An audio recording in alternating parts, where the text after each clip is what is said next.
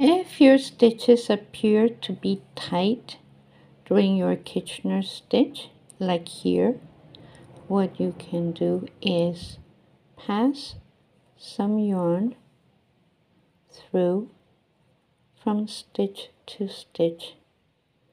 So let's see, there and here and keep going to this side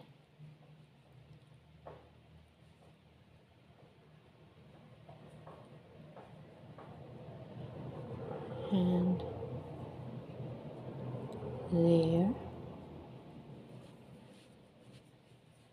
Okay, I think they're even.